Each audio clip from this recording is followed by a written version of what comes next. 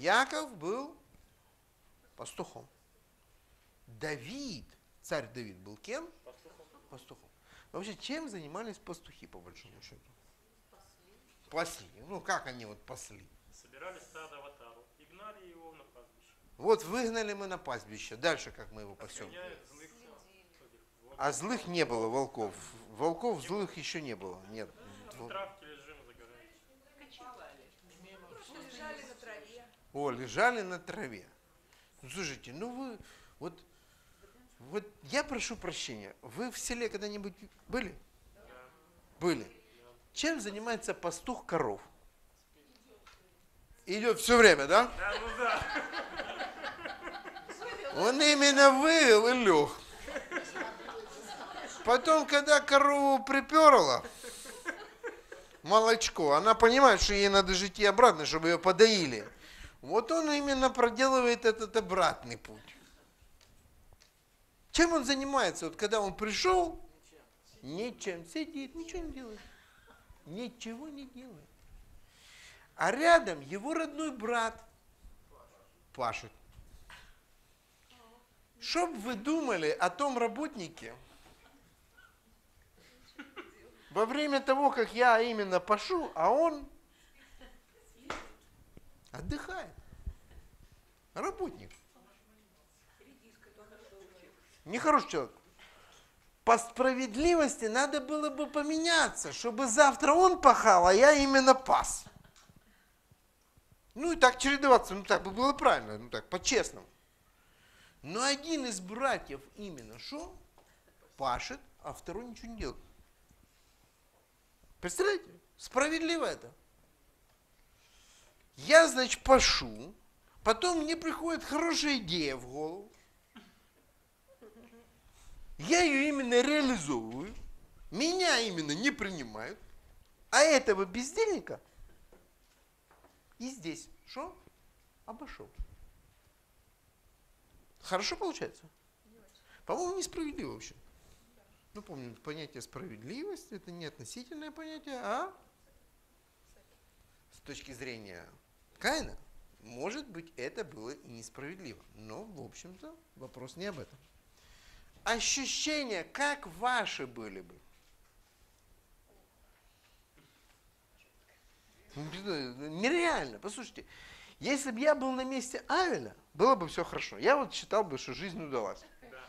Но если бы я был на месте Каина, я бы не знаю, какие нежные чувства я испытывал по отношению к брату, который целыми днями лежит и смотрит, как я пашу.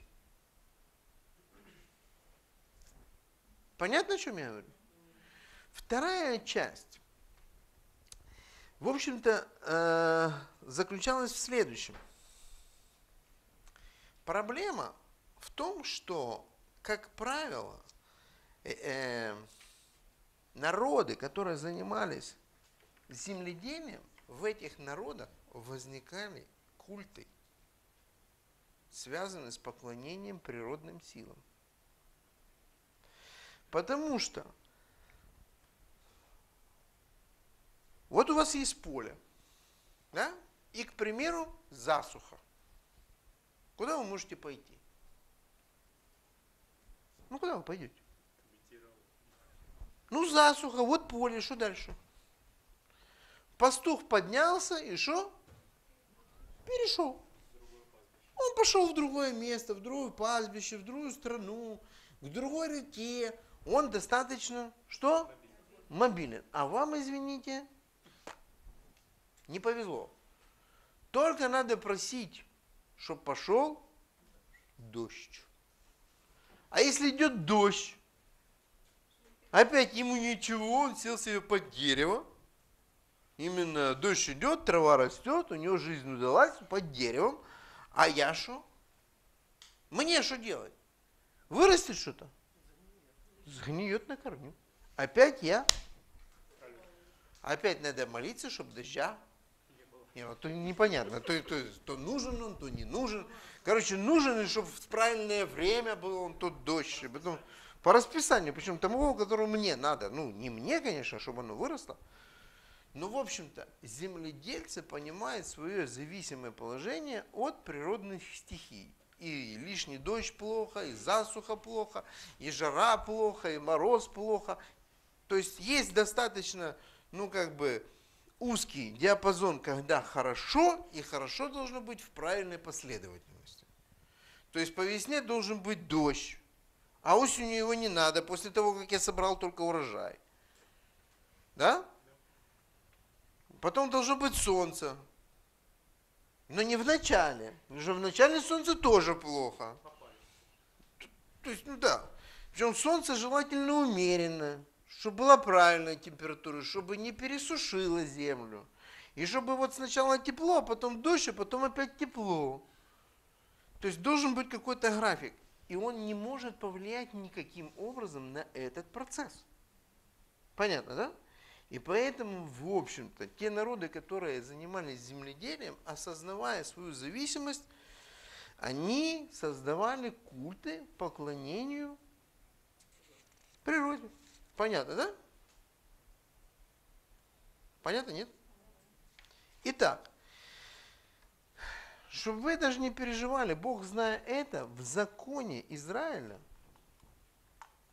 специально делает одну там, там несколько постановлений, которые предотвращают поклонение стихиям мира. К примеру, заповедь о годе шмиты, когда ничего не надо было сеять, когда земля должна была отдыхать. И Бог говорит, послушайте, хм, кто у вас заботится, земля или я? Я о вас позабочусь, не сейте, отдыхайте. И того, что вы собрали, вам хватит на то время, когда вы будете отдыхать. Здесь надо было договариваться со стихиями мира или верить Богу. Понятно, да? То есть Бог знал о том, что в Израиле могут появиться тоже светлые мысли. И чтобы они не появлялись, он дает специальные заповеди, показывая Израилю, что они зависят не от стихии мира, а от него. Здесь понятно? Итак, ментальность у скотоводов и у людей, которые возделывают землю, она абсолютно разная. И мы знаем о том, что египтяне не очень хорошо относились к евреям. Из-за чего? Потому что они были пастухи, а египтяне были земледельцы. И оказывается, род занятий, в общем-то, может иметь некоторое отражение в отношении к другим людям, которые занимаются другими занятиями. Да? Влиять. Думаю же, конечно, в большей степени я утрировал, описывая отношения между двумя братьями. Да? Может, они и не были такими, но во всяком случае мы можем сказать, что отношения не были такими ровными, как хотелось бы. И видно, что они закончились весьма печально. И что заботило, что заботило Каина после того, как он совершил убийство?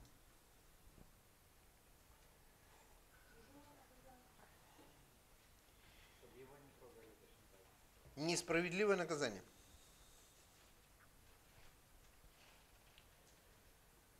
Ныне прокляты от земли, которая отверзла уста свои, принять кровь брата твоего от руки твоей. Когда ты будешь возделывать землю, она не станет более давать силы своей для тебя, и ты будешь изгнанником и скитальцем на земле. И сказал Каин Господу, наказание мое больше, нежели можно снести. О чем идет речь? Каин говорит, вообще ты несправедливо со мной поступаешь. Ты как-то вот это меня наказал, и я считаю, что неправильно. Оно больше, чем я могу вынести. Неплохо было бы, чтобы наказание было такое, которое я могу вынести. А ты как-то погорячился именно. Это похоже на раскаяние? Что его интересует? Будущее или прошлое? Его мало интересует его поступок, его интересует, что будет с ним происходить в дальнейшем.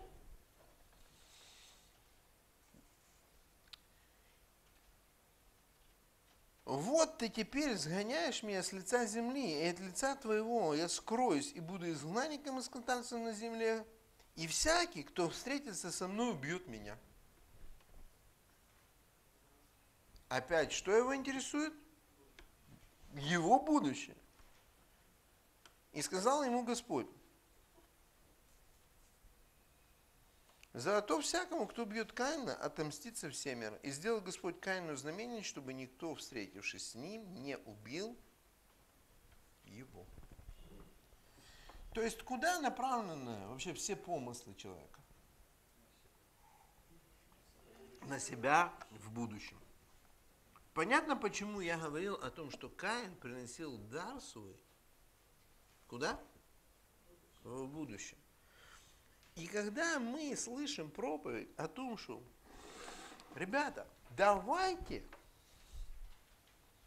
и дастся кому? Вам. И вам будет хорошо. Вы сейчас немного дадите, а потом вам как отсыпят. Мерой доброй, нагнетенной, утрясет. Все у вас хороших будет хорошо. Сейчас сюда немного положите, и так начнется. Бог именно как откроет небеса, именно для вас. И когда люди вот это ждут, когда именно они откроются, а они не открываются, они все сеют и сеют, а оно именно не растет, люди куда попадают? Куда они попадают? Разочарование. Они говорят, слушайте, мне обещали, что я приду, здесь дам немного, и у меня жизнь наладится. А именно она не налаживается. Я все даю и даю, и все думаю, когда начнется, а оно никак не начинается. По-моему, меня здесь что? Обманули. Понятно, о чем идет речь? Идет речь о рулетке. Дайте немного, чтобы получить много. Для кого? Для меня. Красиво, я согласен. Некрасиво. Нехорошо как-то получается. Если бы все было так просто, дал немного, а тебе за это вот, так это вот так. Вот, конечно, красиво, но не работает. Вот же в чем проблема. Так не получается. Если людям такое рассказывают, потом у людей легкое разочарование. Их понимают, что их развели просто на деньги. А именно они пришли, договорились уже практически с Богом, уже все дали наперед, предоплату, а оно все не наступает. Они уже предоплату дали. Им говорят, послушайте, вы мало дали, надо еще. Вера, без веры, да. Сумма маленькая, покажите настоящую веру. Если сумма будет большой, он сразу увидит, что это большая вера именно деваться будет некуда ему, он даст. Именно, еще больше, чем дали. Вы же его испытайте по-настоящему, что вы положили там, какую-то тысячу несчастных долларов, что это. Здесь есть в зале люди, которые могут пожертвовать 10 тысяч, я чувствую. Не слышали таких проповедников? Слышали? Они именно чувствовали, что есть, есть еще порох в пороховницах. У некоторых именно. Что потом с ними было, которые пожертвовали именно некоторые квартиры, которых потом у них забрали? Послушайте, это обман. Это элементарный обман. Когда вам говорят, дайте чуть-чуть, и Бог вам даст еще больше. Где такое в Писании было? Бог говорит, я благословлю тебя. Но Бог, как это ни странно, благословляет даже плохих и злых людей. Солнце встает, и над ними тоже. И Бог благословляет нас не потому, что мы Ему дали, а потому, что Он нас любит. И Он никому ничем не должен, потому что все, что мы имеем, оно пришло к нам от Него. И когда вам рассказывают о том, что ну, именно Он вынужден будет просто вас благословить. Если вы ему принесете, то ему просто некуда деваться. Он просто обязан. Это брехня. Понятно, о чем я говорю? Интересно? Точно, от кого наши пенсии? Вы, я вам отвечу на этот вопрос. Вы знаете, от кого наши пенсии? Вы знаете, хорошо сравнивать себя с американцами. А вы не пробовали сравнить себя и задать вопрос, а кого, от кого наши пенсии, ну, сравнивая себя с Зимбабве, Кампучи, Камбоджа. Не пробовали, нет? А давайте попробуем. И от кого тогда наши пенсии? Наши пенсии миллионные деньги по сравнению с их. Да. И от кого они тогда? А, вы уже начали поднимать глаза к небу. Считается уже. На сегодняшний день мы живем в 21 веке. И вы знаете, посмотрите телевизор, есть люди, у которых нету крыши над головой. Есть такие люди. Есть такие люди, которые живут, не имея окон и дверей заодно тоже. И я не шучу. Спросите у вашего равина. Он был в таких странах, и я был в таких странах. Когда я приезжал в 21 век на дворе, глинобитные хаты, без окон и без дверей. А в городе, ну это шикарное жилище из картона. И вы знаете, они вообще не знают такого слова пенсия. То есть государству, мягко говоря, наплевать, за какой счет они доживают свою старость. Мгм. От кого наши пенсии вы хотели спросить? Уже не спрашивайте. Правильно, главное правильно выбрать правильную точку отсчета. И тогда появляется чувство благодарности. Если не выбираем правильную точку отсчета, начинаешь вообще, куда ты смотришь? А когда посмотрел по сторонам, говоришь, слушай, так отлично, я вообще ничего не имею против. Хорошо, что так.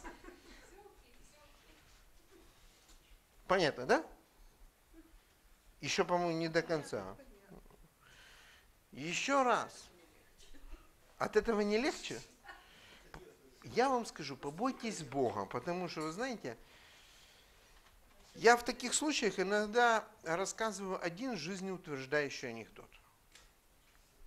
Встречаются два товарища, один, в общем-то, хорошо устроился в жизни, все хорошо, а второго не очень. Он такой грустный идет навстречу. Ты же что такое? Он говорит, да, говорит, лучше не спрашивай. Говорит, ну вообще, говорит, говорит, все плохо. И на работе, и дома, и с деньгами, ну вообще везде, со здоровьем тоже не очень. Он говорит, послушай, говорит, жизнь как зебра. Сначала черная полоса, потом будет белая, не переживай. Через некоторое время встречается, он еще идет как туча. Он говорит, слушай, что случилось? Говорит, то была белая полоса. Но я вам хочу сказать, если бы не он, я бы точно не выжила. Вот хорошо. 536 рублей, Хорошо, я вам скажу, смотрите, чтобы вот это не было белой полосой. Просто помолитесь и оцените все. Может быть, ну, жизнь как полоса сначала черная, потом белая.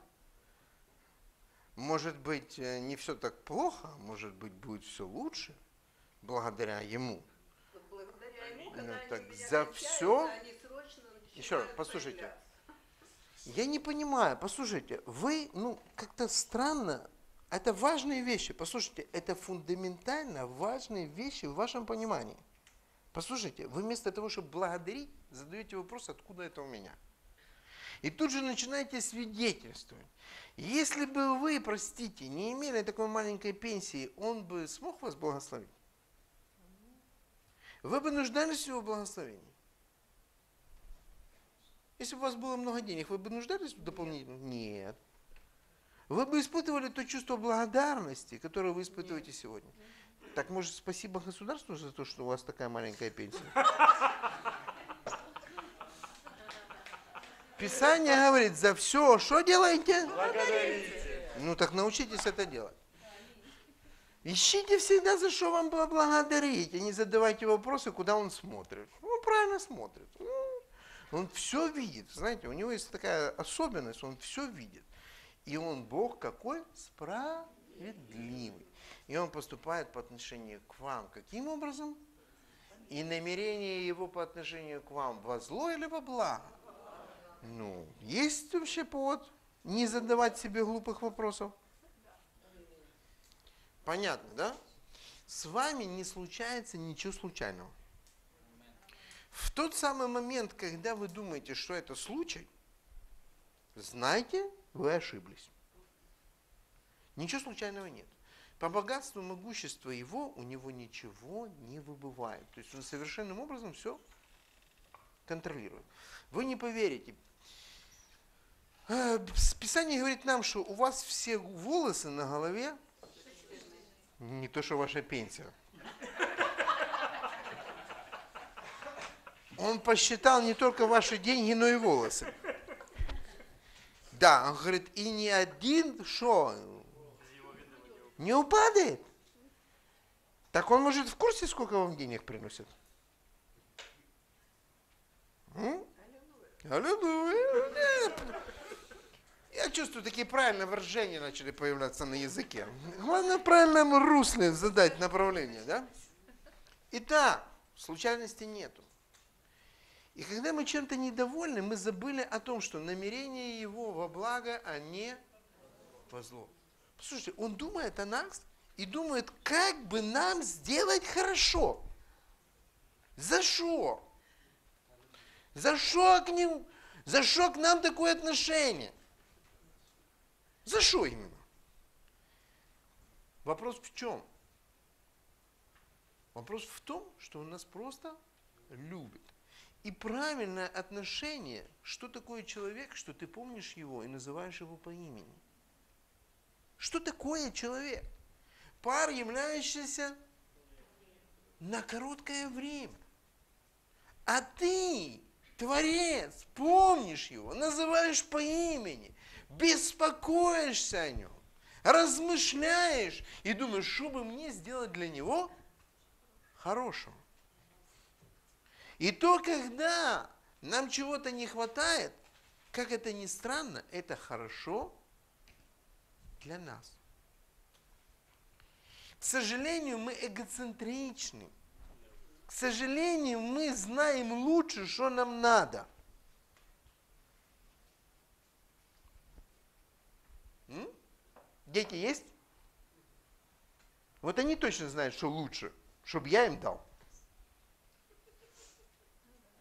Вот если я приду и спрошу, сынок, что тебе, он быстро мне перечислит. Я скажу, что вот этого тебе не надо, это тебе будет плохо, и это тебе тоже на пользу не пойдет. На тебе вот это. Он говорит, этого я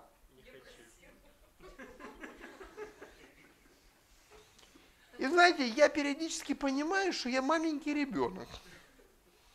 И иногда прошу того, чего он мне не собирается давать. Но он говорит, проси, проси, сынок, проси. И если ты будешь всегда в молитве и прошении с благодарением открывать свои желания, то тогда я тебе отвечу. Каким образом? Мир Божий, который превыше всякого ума, соблюдет твое сердце и помышление во Христе Иисусе. Он не обещает, что он мне все даст. Так что смотрите, чтобы не было как в том старом анекдоте. Хорошо. Уже все. Вы, вы же были на, на шабате, да? Слышали анекдот про золотую рыбку? Нет? Я что, не рассказывал анекдоты про золотую рыбку? Эх, поймал мужик золотую рыбку. Хочу, чтобы у тебя, хочу, чтобы у меня все было. Золотая рыбка ему говорит, у тебя все было. Да смотрите, все хорошо. И за пенсию хорошо. Итак, возвращаемся к Каину и Авелю. Расслабились немножко? Теперь возвращаемся к Каину и Авелю, и теперь пойдем быстрее. Немножко стало понятней? Направление в будущее, направление в прошлое. Когда творение понимает, что оно зависит от Творца, и все, что оно имеет, это по милости Божьей, тогда за все благодарим. Когда понимаем, что мне чего-то не додали, особенно если есть с кем сравнивать, тогда нас- наступает определенная проблема. И если ты благодаришь за то, что ты получил, все нормально. И если ты договариваешься на будущее, и твой дар еще и при этом не приняли, это катастрофа. Понятно, да?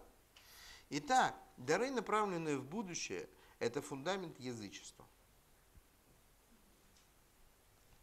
Дары, направленные на умилостивление божества, это язычество.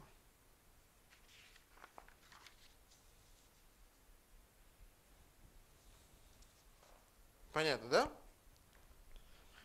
Истинная вера начинается с отношений и благодарности.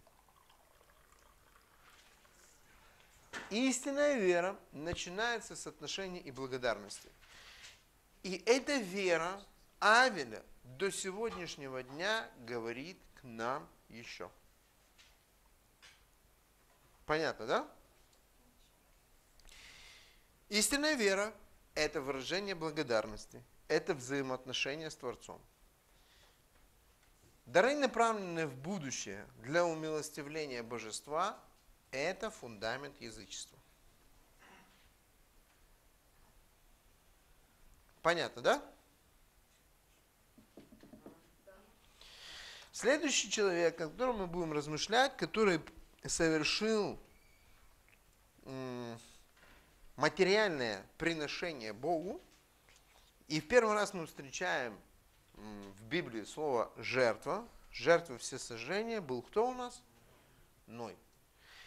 И то, что он произвел, было настолько невероятным, что Всевышний посмотрел воспринял это действие как приятное благоухание, да, и заключил с Нохом и его потомками завет. Меня вот всегда интересует вопрос. Приятное благоухание, да? У Бога что, с обонянием что-то не так? Все так? Ему что, нравится запах паленого мяса? Вы когда-нибудь слышали этот запашок? Когда сгорело. Когда все сгорело, все уже. Когда шашлык сгорел. Слышали этот запах? Конечно. Нравится? Нет. А ему нравится. Или, может быть, что-то другое ему доставляет удовольствие и радость. Что, не обоняние. Да, хорошо. С запахом у него все нормально. Итак, что делает Ной? Нох попадает в ситуацию, в которой не был ни один человек. Кто из вас был в ситуации, когда Бог его спас? Ну, не все, но многие из нас были в таких ситуациях, когда Бог его спас, и иногда даже это делал сверхъестественным образом. Вы знаете, в отличие от Ноя, в отличие от Ноя, ситуация была ниже следующая. У всех было хорошо, у вас было плохо. Понятно, да? У Ноха была ситуация с точностью наоборот. У всех было плохо, у него хорошо. Представляете, что он переживал? Когда все умерли, а он и его семья остались жить. Ну что, нормально? Его жертва, она имела бы смысл, если бы до того он принес. И вот всегда все было бы на местах. Он принес именно жертву всесожжения, а Бог его за это, что? Спас. Но мы знаем, что такой последовательности не было. Сначала Всевышний его спасает, а потом первым делом все, что он делает, начинает строить жертвенник и приносить жертву. Какой смысл? С рациональной точки зрения, есть смысл? Благодарность. Рациональная вообще штука? А что тут рационального, скажите мне, пожалуйста, влияет это на исход? Рационально я дал, оно произошло. Это понятно. А если оно произошло, то что давай? Какой смысл?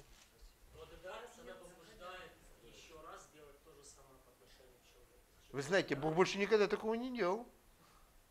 Ну, То есть в следующий раз он никого не топил, чтобы именно он опять его сказал спасибо. Так к чему же это все? К чему же тогда побудило оно его? Благодарность побуждает сделать еще раз то же самое. А что, еще раз выходил навстречу? Не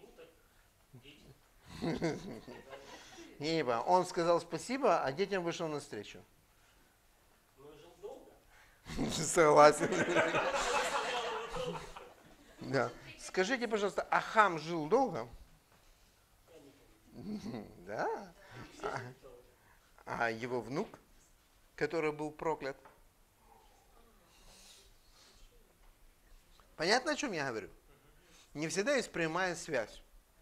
Когда вы благодарите, вы не размышляете над тем, что вам за то, что вы сказали спасибо, еще сделают хорошо. Это благодарность, которая направлена на куда? Будущее на себя. Это фундамент чего у нас? Язычество. Еще раз. Благодарность должна направлена быть куда? Прошлое. Это отношения. Послушайте, благодарность это взаимоотношения. Я говорю спасибо, потому что у меня есть взаимоотношения. Собираешься их продлевать. Да, как это ни странно. Я понимаю свою зависимость, я имею благодарное сердце, я собираюсь продлевать эти взаимоотношения. Я знаю о том, что он добрый, но при всем при этом, в общем-то, иногда поступает со мной таким образом, как мне не нравится. Еще раз. Он добр, но поступает иногда со мной таким образом, как мне не нравится. Ну тогда я могу прийти и сказать, ты что, ну, ты не совсем понял, я благодарный. И хочу, чтобы ты по отношению ко мне поступал так, как мне. Ты что, не оценил то, что я сделал? Так я еще могу подарить тебе что-нибудь. Я еще раз, мне не тяжело, я могу сказать спасибо. И это что у нас будет? Язычество.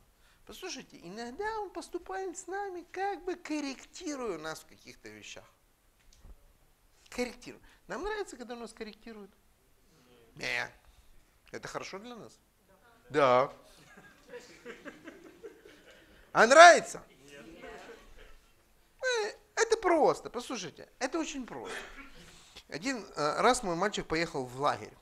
Ну, это был лагерь, английский язык, на Черном море, там, с аквалангами, со всеми делами. Я приезжал к нему, туда смотрел, мне понравилось. Мне понравилось. И когда он приехал, я его спрашиваю, сынок, тебе понравилось? Он говорит, да.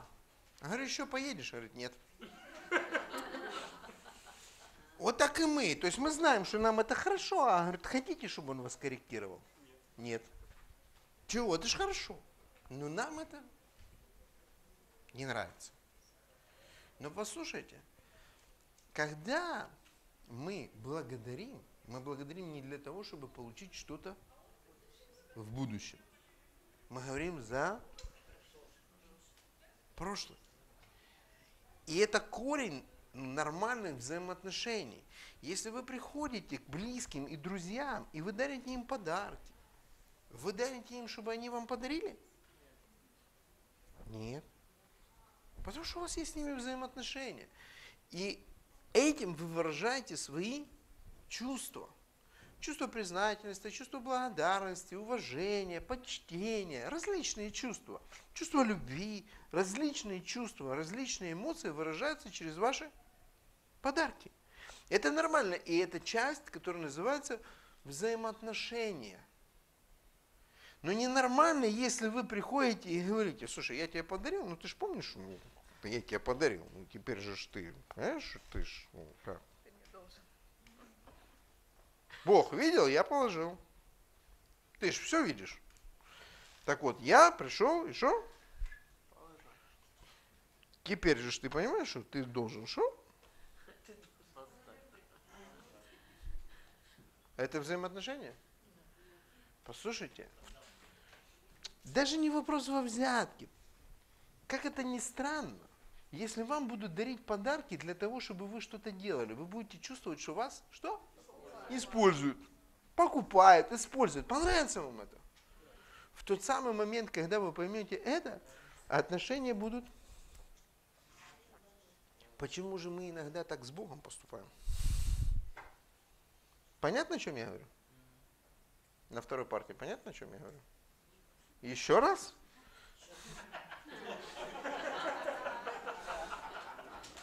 Простите, я когда говорил, вы просто общались. Э,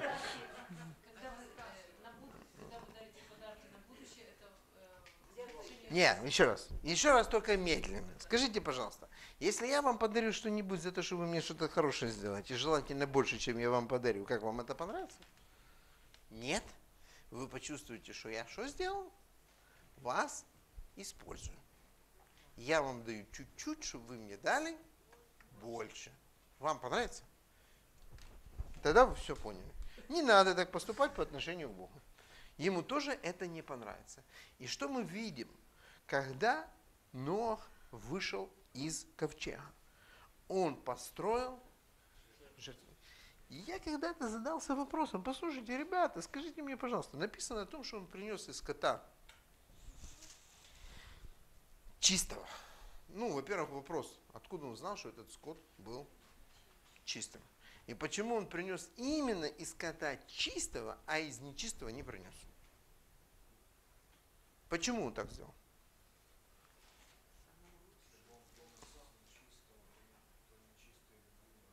Да, он был взрослым мальчиком, он понимал, что нечистых всего лишь...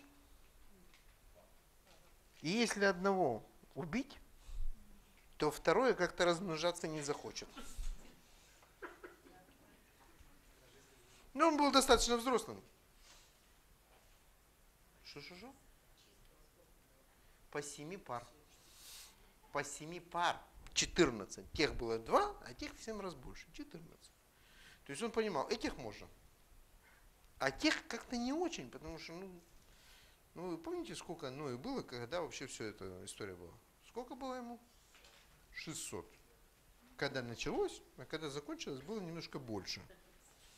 601. Доживя до такого возраста, уже можно понять, что можно делать в этой жизни, а чего не стоит. То есть он уже догадывался, к чему может привести принесение всех. То есть нечистых бы просто не было. А может быть, было хорошо, не было бы этих споров. Да. Ну, вообще тогда этих споров не было. Ну, был факт еще другой. Понимаете, в чем дело? Все, что движется, все Все. Ключевое слово какое? Все. Оказывается, кушать можно было все. Я понимаю, что Бог просто тогда ну, ненавидел всех потомков Ноя. Разрешил им кушать все. Но вообще он что сделал? Не, еще ключевой момент. Слово там было правильно. Открывайте девятую главу. Все. Я понял. Все движется, что же, Ключевое слово. Ключевое слово найдите там. Ключевое. Не умеете читать. Ну, в первом стихе за предлогом «и» что написано? Благословил он. Ключевое слово какое? И благословил. И благословение было в том, что он разрешил им все это кушать. Понятно, да? Оказывается, он, Всевышний, Творец, разрешил людям кушать все. И это было частью благословения. Вторая часть удивительная. Завет Ноя заключен был не только с людьми, но и со всеми животными, живущими на этой земле. Знаем мы или не знаем, согласны мы не согласны, хотим мы или не хотим, все живущие до сегодняшнего дня на этой земле находятся в завете Ноха. Да. Ну, радугу видел кто-нибудь? Видели? Значит, завет, извините. Говорите. Детстве. Ну, видели? Ничего не поменялось с того момента. Все хорошо. такая же. Все хорошо. Вот с вашего детства еще продолжается. Понятно, да? Итак, друзья мои, и это все было в ответ на то, что один человек сказал по-настоящему спасибо. Он имел благодарное сердце. То, что он сделал, не имело никакого смысла. С точки зрения того, что я вот, я вот сделал, а теперь ты мне, ничего подобного. Все уже было позади. Все уже закончилось. И Ноах вышел и сказал по-настоящему спасибо. Подумайте вообще, много ли чистых животных на этой земле? Много? Достаточное количество. А теперь подумайте, что нужно было поставить достаточно большой жертвенник, заготовить достаточно большое количество дров, потом зарезать, разделать и сжечь. И все это для того, чтобы сказать просто спасибо. И Богу, как это ни странно, это понравилось. Не только он принял, но это ему еще и понравилось. И он благословил не только Ноха, но и всех его потомков. То есть, простите, нас с вами тоже. Хорошо быть благодарным. Да. Но он это делал не для того, чтобы, а потому что. Ясно, да? Засим отходим на 5 минут на перерыв.